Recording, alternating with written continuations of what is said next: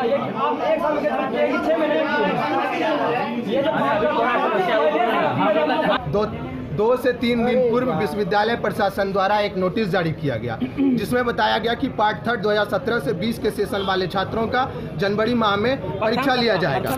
जिसमें जिसमें अभी 2017 से 20 का सेशन जो कि अगस्त में कंप्लीट होना है, अभी इस विश्वविद्यालय के कई अंगीभूत इकाई में हाल में सितंबर में जब परीक्षा संपन्न हुआ था और पार्ट थर्ड का एडमिशन अभी तक नहीं हो पाया है। इसी तरह से पार्ट थर्ड का जब तक एडमिशन नहीं हुआ है क्लास नहीं चल रहा है और कई बच्चे अभी तक सिलेबस कंप्लीट नहीं हुआ है तो किस आधार पर जनवरी में विश्वविद्यालय प्रशासन परीक्षा की परीक्षा के नोटिस को जारी किया गया? इस सभी को मांग को लेकर हम सभी छात्रों के साथ आज विश्वविद्यालय के प्रोबीसी से मिलकर उन्हें ज्ञापन देने आए थे कि जिसमें कहा गया कि हमारा जब सेशन अगस्त में कंप्लीट होता है तो जनवरी माह में किस आधार पर परीक्षा लिया जाएगा? लेकिन छात्रों का मांग है कि जब हमारा बीस